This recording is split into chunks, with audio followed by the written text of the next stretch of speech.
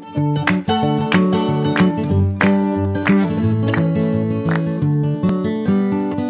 a lot for coming out tonight. My name is Paul Imhoff. I'm the superintendent of schools. A little bit of business right off the top here. If you are here to be trained as an umpire for baseball in Central Ohio, you're in the wrong room. If you're here to be trained as an official for, of, of, for lacrosse in Central Ohio, you're also in the wrong room. And if you think you're on a flight to Atlanta, you're also in the wrong room. We are here for a facilities planning meeting tonight, and I want to thank you for coming out. Obviously, a busy night at the high school. Uh, we did this meeting the, uh, the, the, this morning as well. Um, we are filming the meeting tonight, and we'll put this on our website so that those who are not able to be with us can uh, can can uh, get the information. We'll also be placing the PowerPoint on our website. Um, we have been having meetings around facilities now for years. Um, and there are people in this room who have been to every meeting for three years. And that is great. And thank you, thank you, thank you. Many of you could come up and do what I'm doing for, uh, uh, for me, and I may ask you to do that in a minute. Um, there are other people that this is your first meeting, and welcome, welcome, welcome. Be, be, because we're in so many different places, we want to personalize your, uh, your experience tonight. So we're not going to be taking questions from the, uh, the, the, the, entire group at once because we're in so many different places. Uh, but later on in the meeting, we are going to break and there and there there will be an opportunity for uh, those of you who who want to dig in deeper in different areas to come up to us and ask your questions on on on an individual basis and that's just a more efficient way to handle that so people in the room who've been to meetings for three years don't have to backtrack. And those of you who this is your first meeting, you're going to be able to get all the information about the process to get caught up in the process. Um, so as we look at tonight, who's driving? Thank you, Karen. Um, we're going to talk about our guiding principles. We're going to talk a little bit about finances. We're going to talk about the role of this committee and what you're doing tonight. We're going to spend a lot of time tonight, and you're going to hear us talk a lot about teaching and learning.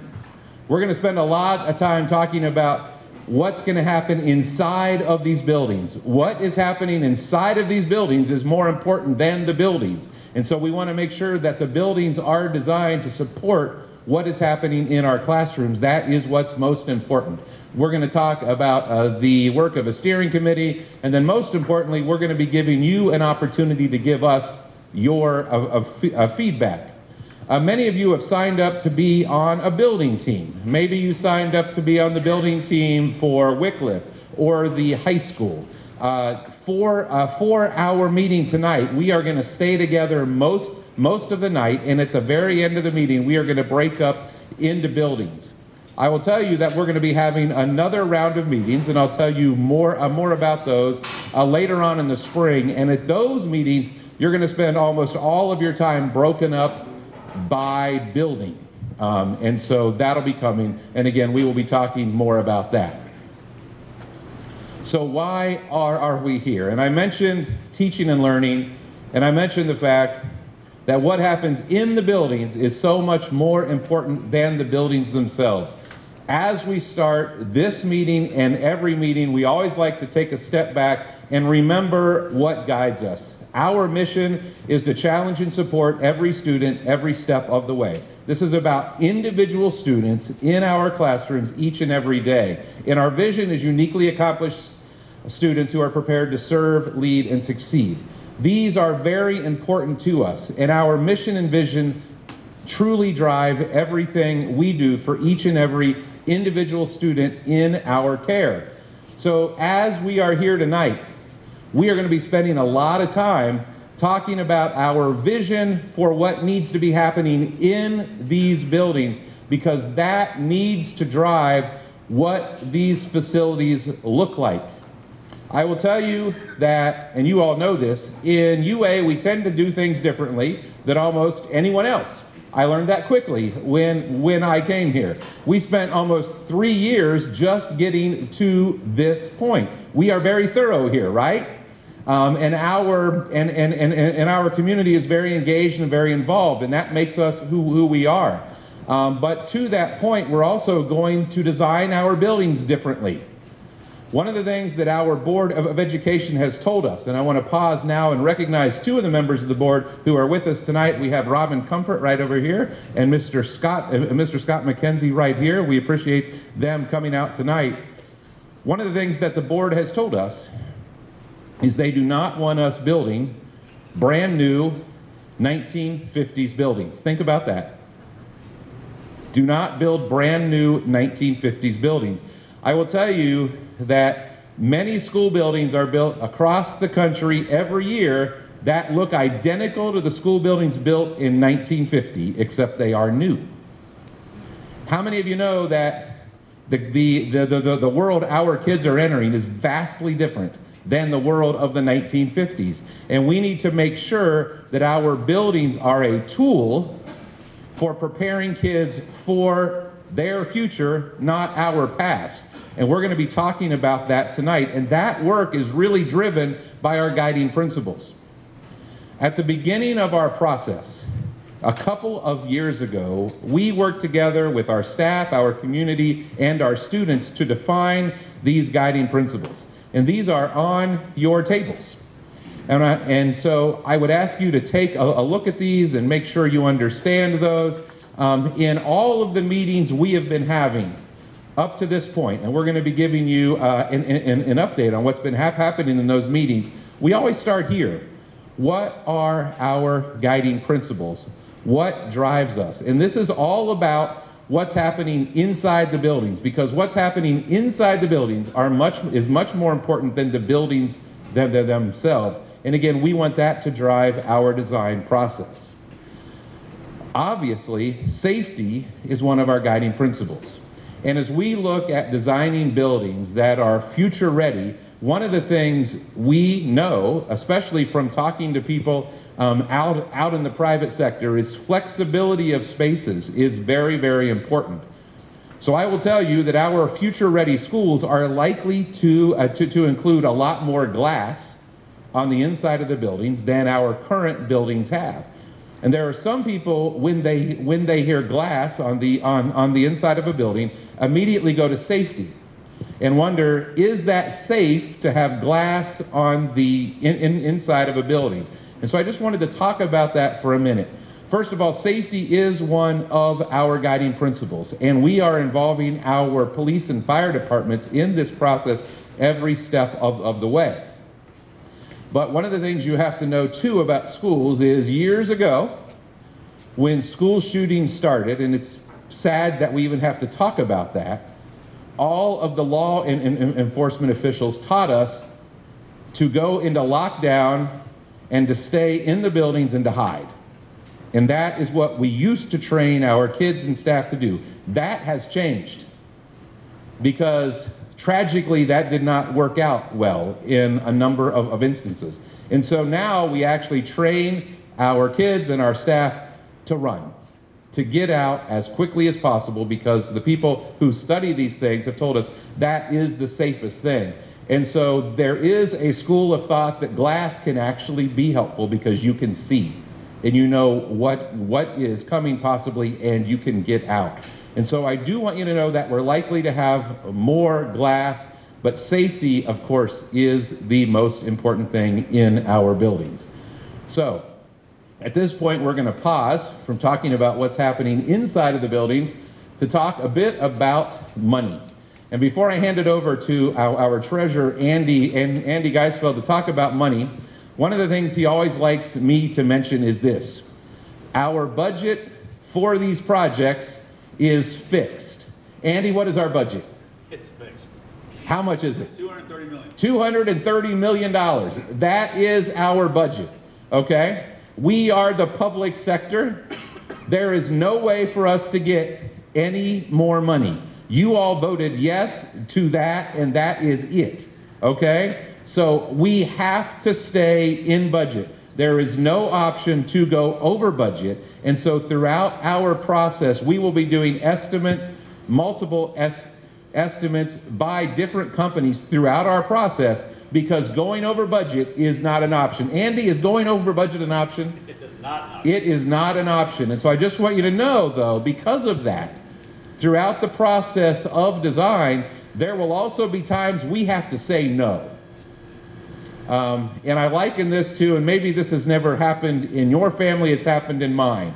So we want a new kitchen. So we bring in people to look at the kitchen and we dream. And we want this, and we want that, and we want this. And then we get the price. Has this never happened to any other family? And then we renegotiate our dream, okay? And we decide to bring things down a bit. The same thing happens when you are going through the design process for schools. Our budget is fixed, and I do want you to know there will be things that people want we are going to have to say no to because we have to live within our budget. Now, did I cover that clearly enough for you, Andy? What's our budget? Okay, $230 million. This is Andy to talk about the money. Thank you. Good evening. Uh, several of you have probably heard in the past, as we are doing this last two and a half years, that we really were hitting hard on our bond rating. And why is our bond rating important to us? A bond rating is like our credit rating for schools. So as we do bond ratings, we as a district have a AAA with Standard & Poor's and a AA1 with Moody's. Those are two of the highest uh, to the highest possible. We are among a, a, handful of districts in Ohio that have those bond ratings. And why is that important then? So that at the higher the bond rating, usually the lower the interest rate, so therefore you get a better deal than when you issue the debt. Now when you issue, when you're going to issue debt, you have to go back to the credit rating agency and you have to ask them to go ahead and revisit your bond rating. So we went in front of the bond rating agencies uh, early in January and gave our presentation and one of the things they said is obviously issuing more debt raises your debt ratio. So there is a, with some ratios there that kind of concern them. So then I said, what can offset that? And one of the biggest things they said is because of the support of the community over the decades, that is a key to help offset that debt, that debt ratio. The second key was strong financials and strong financial practices. And after we had that discussion, what they came back to is they reaffirmed the cur current ratings we have which is very important to us, so that as we had the AAA and the AA1, when we went to market then two weeks ago to sell our bonds, it was a very challenging market. As you've seen lately, just with everything going up and down, up and down, the bond market is, is no better. And as we went out there to, to sell those, we ended up much better than several of the other entities because of our credit rating, our bond rating. So with that, I am proud to say that we came back with a strong deal for the community. You know, we said worst case would be, uh, as we did our conservative estimates, was 5%. We're a little bit under 4% as we sold them, so it's good for the community. It allows us to keep the structure that we were hoping to do to make the best, uh, best long-term impact for the district. So good credit ratings, a strong sale is good for us as a district, and we're glad to come home and actually have that done. We'll be receiving the money here in about another three weeks, and we'll be ready for our projects. So once again, because of the community support, and because of our bond ratings, it ended up good, for the district. Thanks. Great. Thanks, Andy. The other thing that we want to talk about as far as the finances is our plans to raise money privately. Um, as you know, when we uh, went went uh, went through our planning process, one of the things we committed to was raising at least five million dollars privately to offset the cost of the project. And so we are, we are getting ready to launch that effort, and we are working with the Education uh, Found, uh, Found Foundation in that effort. And it's going to look very much like a private school camp campaign or a university campaign, where we're going to be offering naming rights for different spaces. Uh, say, uh, say a family would like to name the auditorium after a, uh, a, a, loved one or something, there will be an opportunity to, to do that. And so, we, and so we will be offering spaces um, at all different types of price points. The Board of Education will, uh, will be deciding that. And there will be opportunities for people to get involved at all types of different levels. Um, I do want you to know that even though we haven't launched it yet, and I love and, and, and I love UA, that this is a very engaged place, people have already been calling and saying, you know, I'd like to have first dibs on this or on that. Um, and so if there are people in this room who have thought about that and you would like to be a part of that, um, I would recommend calling sooner rather than later because even though we haven't launched yet, people are already calling. And again, we're excited about that. So at this point, a couple of takeaways so far. Is the budget fixed? Yes, okay, so we're all there. And are the buildings the most important thing, or is what happens inside the buildings the most important thing? Option one or two? Option two, right? And so what we're going to do now is talk a little bit more about that. And I'm really excited uh, to have uh, Keith uh, uh, Pomeroy, our Chief Academic Officer, with us, and Andy Hatton, who's our Director of Academic Affairs. And they are two of the leaders of our teaching and learn, learning team in the district. And they're going to talk a little bit more about what is going to be happening inside of our buildings.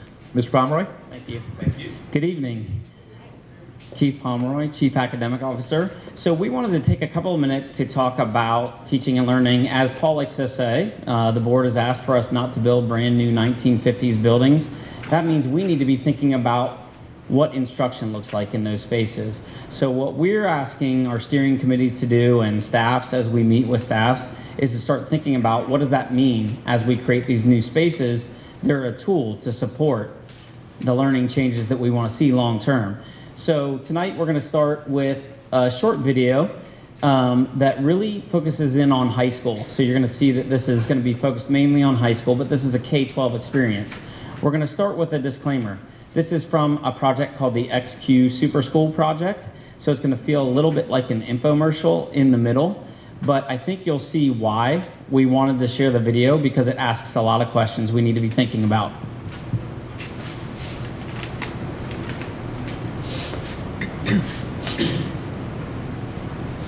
This is America in 1900.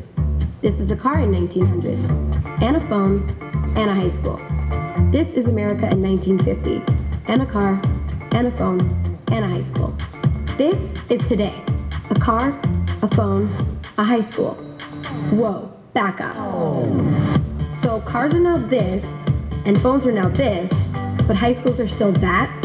American high schools are based on the same model, and it's been over a hundred years. Wow, that's a long time. But why?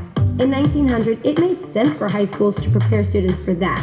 But in 2017, shouldn't they be preparing students for this, and this, and even this?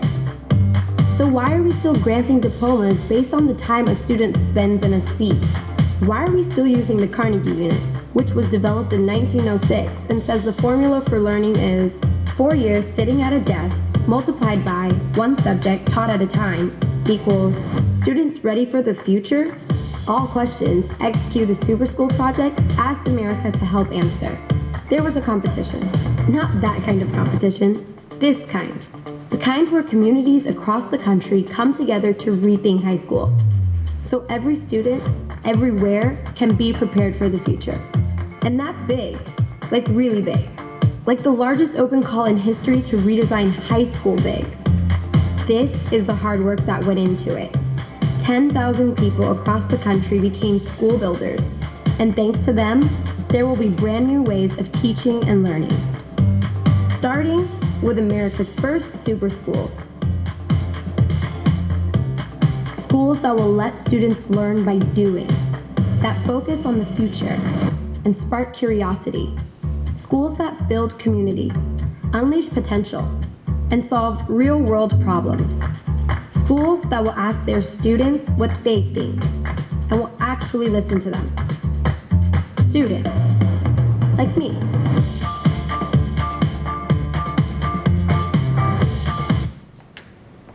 So we love that video for multiple reasons. Um, we think it's really interesting when you look at the fact that Upper Arlington as a city and Upper Arlington as a school district are reaching our centennial. So we're at the point where we're reaching 100 years. And the portion of the video that we try and point out is schools were designed for what they what was needed at some point. That's just changing. So we need to have a cherished past and a golden future. This is our opportunity to really look at that future and build the learning experiences toward that future as well. So we think that that is critical as we prepare not only to open the space, how do we prepare our staff and think about the learning experiences that we want in that space. As you look at the guiding principles document, we pulled all of these words out of the guiding principle document because there's quite a bit in here that we think is critical for what we're trying to accomplish in this process. We had the opportunity with the high school steering committee to have three CEOs that are Upper Arlington residents talk about space as they're transitioning. They're all either moving into new space or have just moved into new space or are designing space currently. And as we listen to them there were a lot of things on this list that we heard them using in their design principles as well. So when you look at serve as a center for the community, um, they talked about safety in their environments, um, all of these things, spaces for collaboration, um, all of those flexible environments, um, all of those were things that we were hearing from them in their learning space as well as as they look at the people they're searching for. So Andy's going to talk a little bit about what this means for our learners.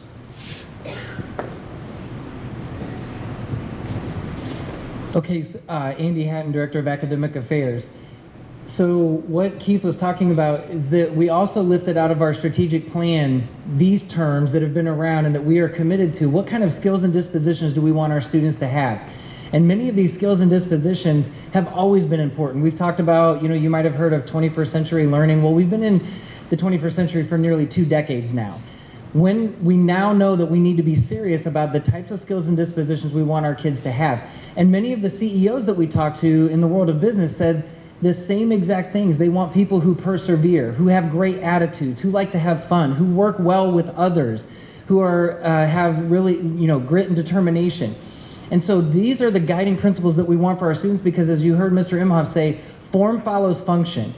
What kind of learning experiences do we want to have in our schools that lead to these kind of outcomes so that students can be life ready? Because one thing we did not hear the CEO say was we need somebody who can really nail worksheets. Or we need some we need kids that can just crush multiple multiple choice tests. Did not get mentioned once. So this is what we're looking for.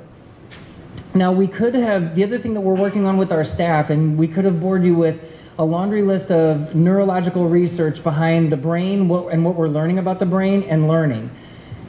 So we, instead, we just drew this picture. Learning is not a straight linear line, and we've known this for a long time. We all learn at different paces. We learn at different times. We all learn to walk at different paces. We learn to talk at different paces. I have a nephew that it took him three or four years to even say a word, and now he's at Ohio State. He's fine we all learn at different paces. So if we know this to be true, we know that we want to personalize learning, which is also in our strategic plan. But what does that really mean? And now is our golden opportunity, as Keith said, to bring this to life. Getting students and learners what they need, when they need it, where they need it, to personalize. We want to make sure that we are having active learning engagements. And this is nothing new. John Dewey was screaming this over 100 years ago learning by doing bringing the subjects together to have lessons that engage students uh, in multiple competencies. Um, we want it to be culturally responsive because we know that that is very important to our community, and we want to focus on the whole child. Uh, I was in the uh, meeting earlier today that also had a great turnout. Again, thank you for being here tonight, late on a Monday night. Early this morning, people were, you know, concerned about, well, I hear a lot about STEM or a lot about just computer science or a lot. We want to educate the whole child, the arts, the sciences, all of it. And we want students to have voice and choice in that. So that is the challenge that we face in teaching and learning. Now we need the spaces to enhance that. So what we'll leave you with tonight is, as we work with steering committees, and we would ask the same of you tonight, as you're looking at your activities that you're going to do to share your feedback, we all bring our frame of reference to school, to spaces that we visit. Um, in the 10 Faces of Innovation, they talk about the concept of vujade. Rather than deja vu, vujade is the concept of seeing things for the first time. So, thinking back to when you were a child and having that sense of wonder and having the ability to see things for the first time and think about them differently, um, they ask you to look at spaces and look at design and look at what you're considering not with your frame of reference, but to set that down and remember that sense of wonder. We think that this quote sums it up very well. The real act of discovery lies not in finding new lands, but in seeing with new eyes. Thank you. Thank you.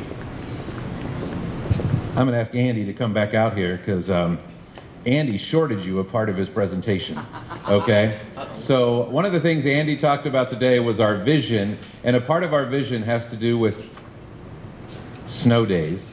And I want you to share that because this morning that was very important. I'm not kidding, it was very important. And I got a lot of reactions to that this morning. So can you share that with this group as you did this morning, please? Sure. i do Thank you.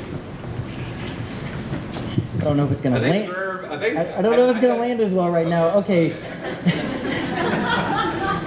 it's gotta be in the flow, and it wasn't in the flow right now. So what I what I was saying earlier today with what we want for our learners and what we want for all students is for the on the in the unfortunate situation that Mr. Imhoff has to make the decision to close school for a calamity if we've got too much snow and ice. I want kids bummed out about that and tweeting no, like putting memes out there like no.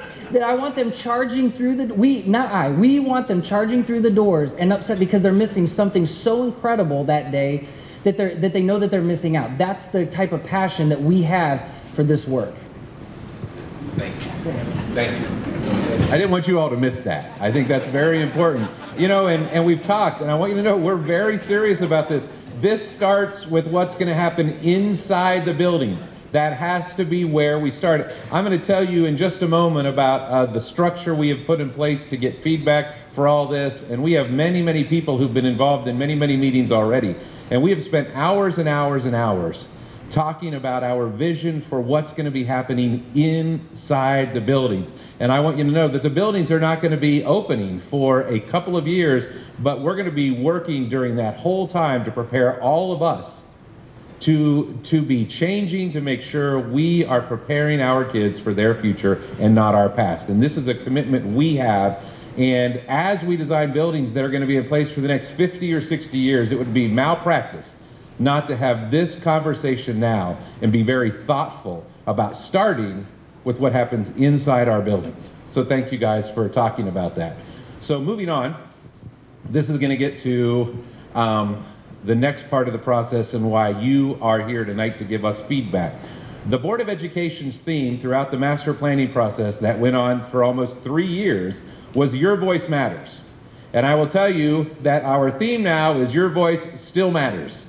Um, we are in the process of designing our schools, and the Board of Education has made it clear that just like we did in the planning process for the, uh, for the issue, we have to involve as many voices from our community as possible, as many staff members as possible, and as many students as possible to make sure that the buildings all, uh, uh, ultimately are a reflection of what our community values and wants. So we have put in place uh, different, uh, different committees to do this, which I'm going to talk about in a moment. But whenever we put a committee in place in our school district, we always start with what is the role of that committee. And there are normally three different possibilities. One is to inform, the other is to recommend, and the third is to decide. And we think when we're asking people to come together, we need to be really clear about what we're asking people to do. Are we asking them to inform, recommend, or decide? So this next graphic, here, I'm going to take, can I use the laser pointer? Great. So if you look at this, this is the decide column all the way down here at the bottom. And the group that's going to make all of the final decisions is the Board of Education. So those are the five people we have elected to represent us. And the power to make all the decisions that are going to impact our new and renovated buildings rests with them. But I will tell you that what is most important to them as they are making their decisions is the feedback that they have, have received from all of these groups of, of people. So as we look at the informed category, you are all here here tonight because you volunteered to be on, on, on a building design team. And so you are all working and and tonight mainly in, in, in, a large group, but at our next round of meetings in April or May, you're going to be working on specific buildings. And your work is then going to go directly to our building steering committees.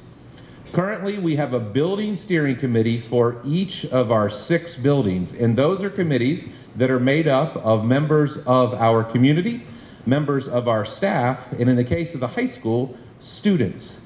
And these are groups that have been meeting for the last two months. And Steve Turckes from Perkins and Will is going to talk to you in just a few moments about the work they have been doing. In fact, they're going to be meeting again next next week. And one of the things we are going to be sharing with them is the feedback we are going to receive from you tonight and the feedback we received this morning from the people who, who, who, came to that meeting.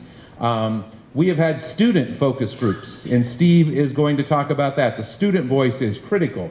Um, we are going to be having many, many staff uh, uh, uh, user groups, so we had some of those happening today. Um, we are having, uh, we have formed a district-wide green team to look at issues of, of sustainability. And if you'd like to volunteer for that, you can just let us know tonight. And the first meeting of that team is coming up in, in, in a couple of weeks. We have a facilities a task, a task force that's been in place for three years, made up of, of, of members of our community who have, who, who, who have ex- expertise in, in this area. So all, all of these groups are informing. And then on the, on the recommend level here is the District Oversight Committee, and that is a group that I lead, and that is made up of Chris Potts and Andy Geistfeld and, and, and a number of us at the district level. And we are putting all of this feed, feedback together and presenting it to the Board of Education so that they can make uh, their final decisions. So I think it's really important to understand all the different things we have put in place to make sure that your voice can be heard and impact the final decisions that are going to be made by our Board of Education. So with that, I'm going to, well, with that, I'm going to talk about one more piece, then I'm going to pass it off to Steve. Um, if you came to our last meeting, you will know that we talked about the design process for school always falls into four phases. The first phase is the programming phase, and we are in that now.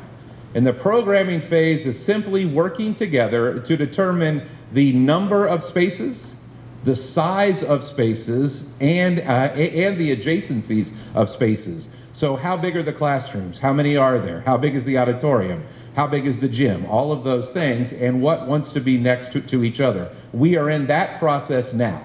Um, starting in March, we are going to enter into the next phase of the process, which is schematic design, often called SD. During that part of the process is when you start to see a floor plan of what the building is actually going to look like on the inside and the elevations or or the or the or the renderings of what the building is going to look like on the outside.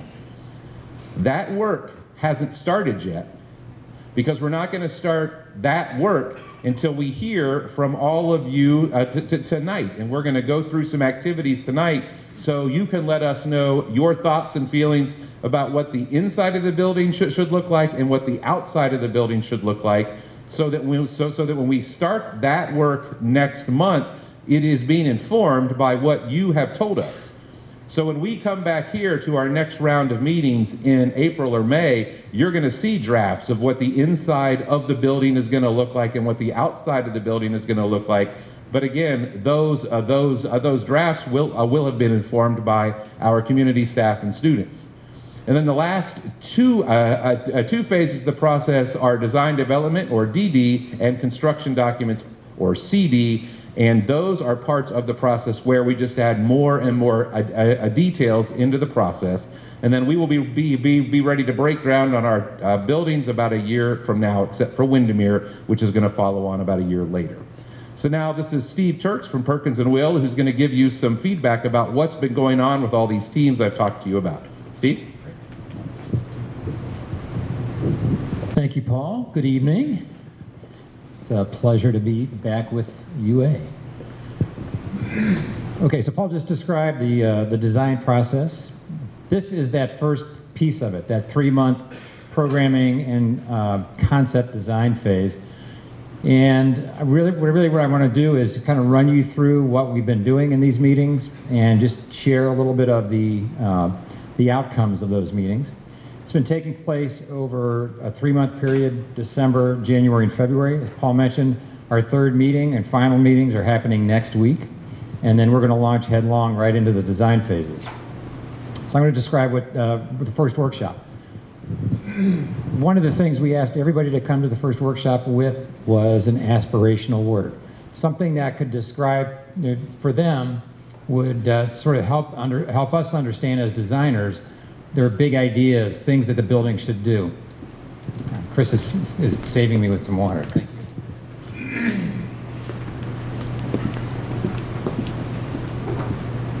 So this is the this is the results from the, uh, the high school, and the, so we pushed all these words into a what's called a Wordle. And if you don't know the way that a Wordle works, uh, when you put the the, the, uh, the words into the software, the, the more times the word is repeated, the bigger the word ends up on the screen, okay? So inspirational was the, one of the major themes that came out of the conversation with the high school folks. Now, who was in those meetings were high school teachers, administrators, uh, community members, and students. I think we have five students. Is that right, Chris? Five? It might be six in the, in the, in the, uh, the steering committee for the high school. But other words, uh, creativity, innovative, uh, engaging, uh, organic. The elementary Wordle looks like this. Uh, flexibility was a huge theme on the elementary level, but also, you know, it should be a creative place, someplace that's bright and comfortable, inviting, uh, someplace that's, that spawns curiosity and, and, and supports collaboration and the importance of community.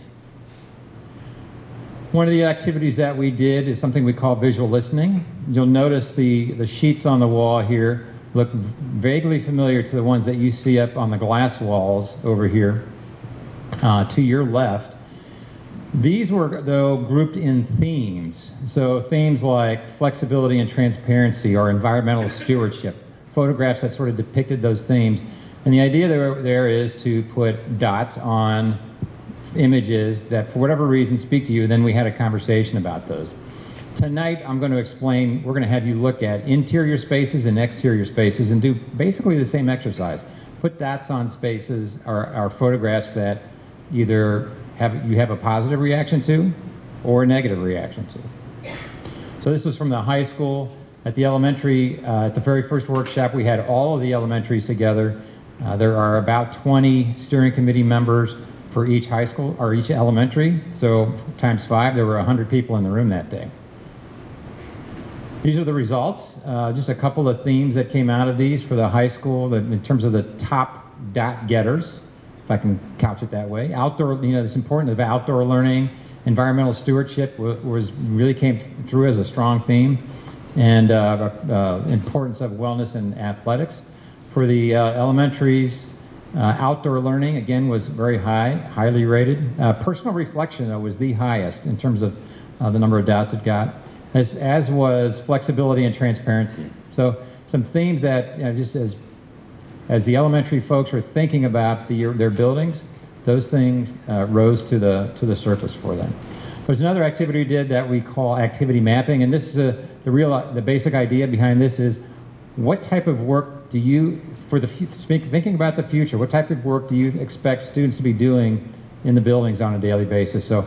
Yeah, there's one format which is, is the one that we're all used to. That one we grew up, most of us grew up with. The teacher in the front room, talk, you know, lecturing, transferring knowledge to students. But there's also many, so many other activities that Andy and Keith were talking about. Students working in small groups on their own individually with technology, connecting to uh, other places. And so the idea here is to understand what are those activities so that we can wrap the right kind of space around those activities. And uh, these are the, these are the, uh, the results uh, uh, from, a, from the high school level and, and at the elementary level. Uh, one of the themes that came through there was this sort of uh, direct instruction mode is important, but if you look at it just as a percentage of time, it's, it's pretty low on the totem pole. So those other activities that need to be supported do need different kinds of spaces to support them. We also handed out something we call a program tree. This is for the high school, so that that sheet of paper was as large as those poster boards on the glass wall over there. They show every single space in the building just graphically, relative size. The circle, the bigger the circle, the bigger the space. And we just asked the uh, the element or the elementary and the high school steering committees to react to those. Do we have the right quantities, the right types, and uh, talk to us a little bit about the relationships between spaces. So you can see if you just look at all the dots here for the high school, there's a lot of dots, uh, different kinds of spaces. In the second workshop, uh, we talked. We had another conversation about uh, the, the trends for uh, future-ready schools and the kind of things that support future-ready schools. The high school had done uh, in advance of us starting the the uh, the workshops. They had done a lot of work on their own, thinking about this idea of space, and they came up with a list of a half a dozen of really important design, what they call design perspectives. And so I want to share those very quickly with you now, just sort of going around the circle here. And we created an icon for each one of those, but The importance of one-to-one student-teacher interaction was one of the themes. There's another one that was time to go deep into a subject or an area of interest. Natural light and environmental, uh, environmental, uh, being environmentally friendly or sustainable. Down at the bottom here, making learning visible. How do you put that learning on display? Paul mentioned perhaps more glass in the learning environment. The notion of flexible spaces and flexible furniture. Maybe the space can flex and get larger or get smaller if it needs to. And then lastly, aligning academics with real world experiences and real world skills. How do we do that? So just real quickly, some, some spaces that might begin to, to, to spawn some thinking about those. You know, smaller spaces that allow students to interact one-on-one with each other or one-on-one with uh, a, a, teacher. Uh, we talked about this notion of cross-disciplinary learning and uh, without going into a lot of detail, it has to do with how we plan the building. Uh, traditionally, maybe an easy analogy is to think about a high school traditionally. Uh, the high school I went to had a hall for math, and then there was a hall for science, and a hall for English. Does this sound familiar? Okay. But if you want to think about doing going across content area, having them having a building subdivided that way doesn't really uh, make it very easy to do that. So if you look here at Blythewood High School, which is near Columbia, South Carolina, this building could be organized in departments, traditional departments, social studies, math, English, and so forth. But it could also, just because the way it's planned, it's very easy to go across disciplines or across content areas. It's just how you locate spaces adjacent to each other. So it's a very important notion in terms of the planning for the new high school, especially. Sustainability came through as a big theme.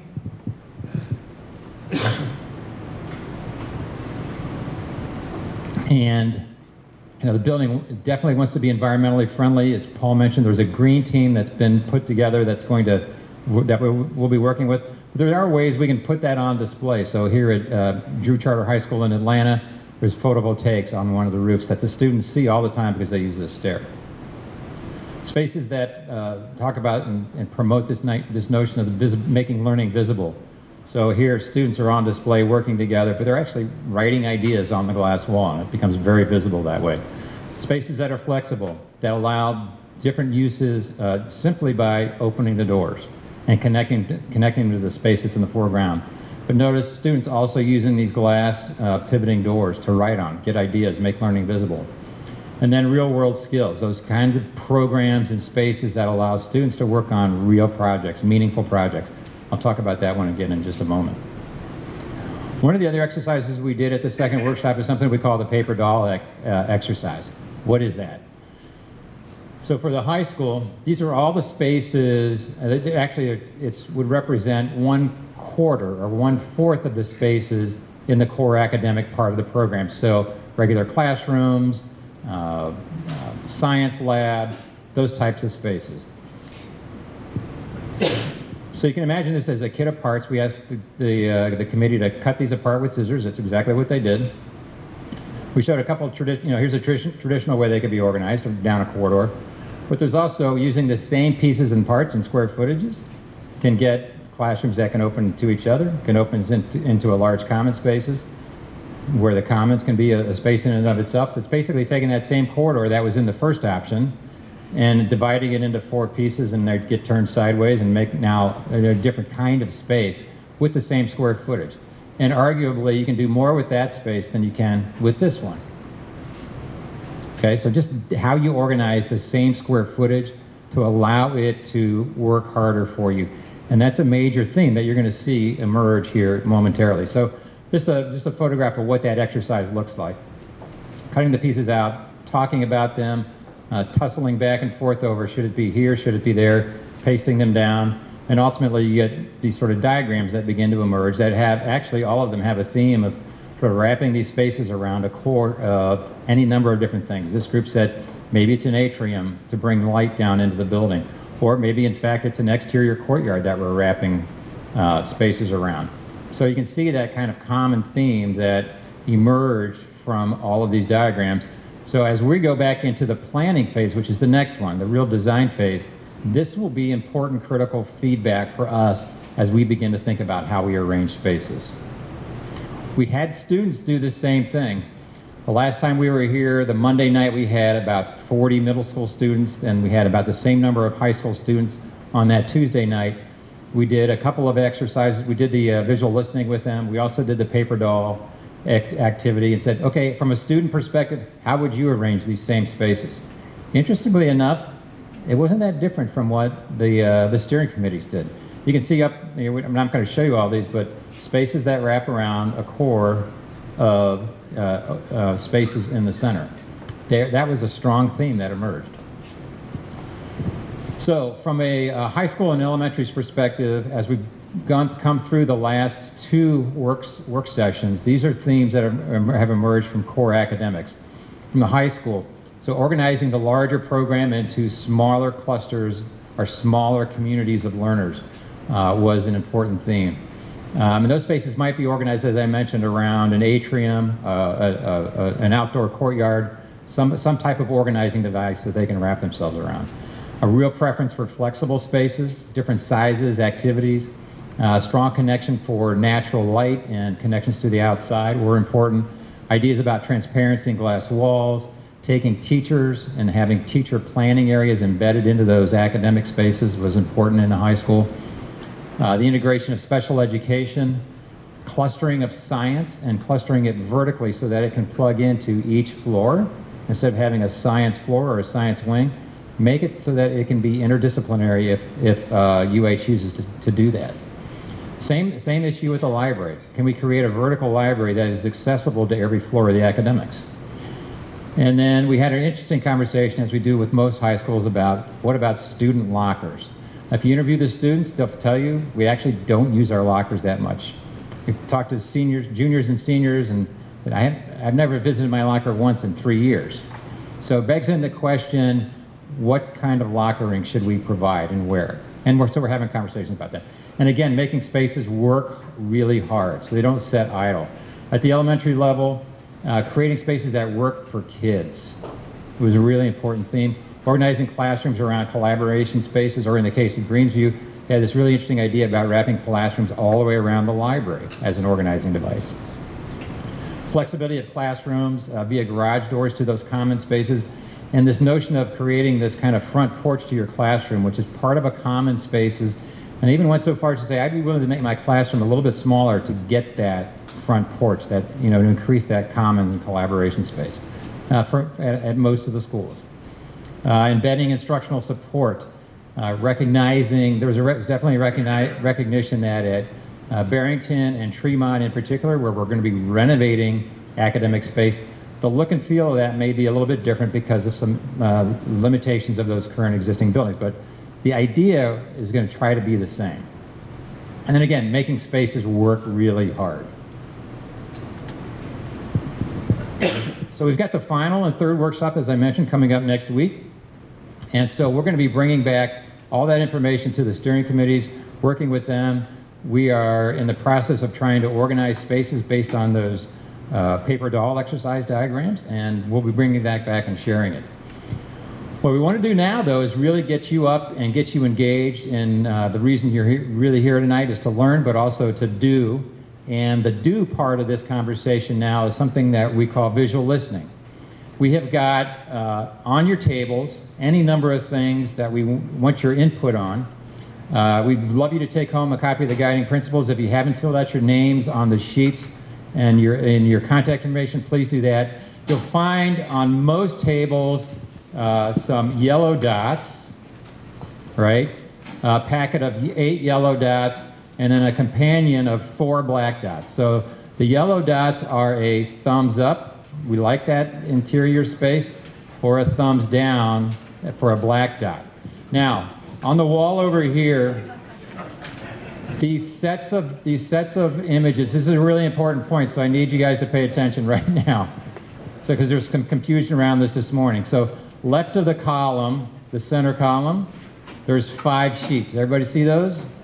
To the right side of that column are the exact same five sheets. Okay? So choose five sheets. On the, in the, uh, the east cafeteria, on the other side of the glass wall, go through the door, there's another set of five. Uh, so just focus on one set of five and put your dots there. Does that make sense?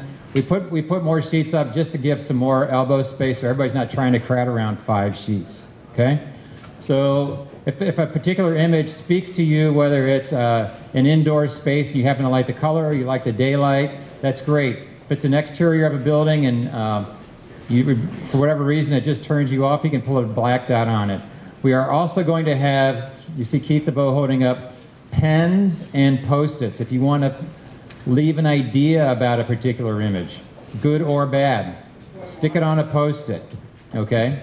Now, some of the tables, we, we ran a little uh, short on dots. So some of you have got yellow dots with a black X through them. Anybody got, some of you guys had those. Those are black dots, okay? Some of you have got um, these little guys over here, which we in the trade call drafting dots. These are little pieces of masking tape that we use to tape up drawings. These, if they, if they have an X through them, they're black. If they don't, they're yellow. Okay? So our apologies, we just ran out of dots. And I'm going to hand it off to Paul. He's going to describe another activity.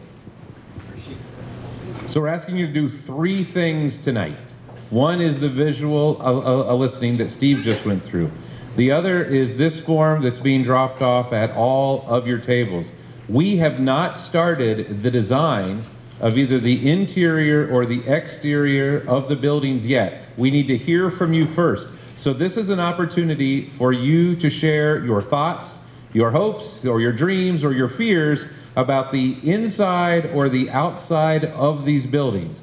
And so we want you to be specific, and we're going to be tallying all of this. And all of this is going next week to the next round of building steering committees. And again, we have a building steering committee for each of the six buildings that is being designed now, made up of members of the community and members of the staff, and in the case of the high school, students. And we're going to be sharing this feedback with them so that can inform what they are doing next week as well.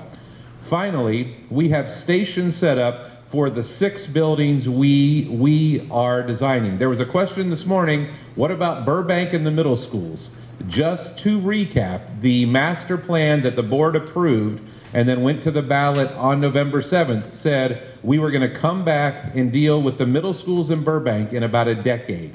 And so we are not dealing with them yet. We are dealing with the elementary schools and the high school.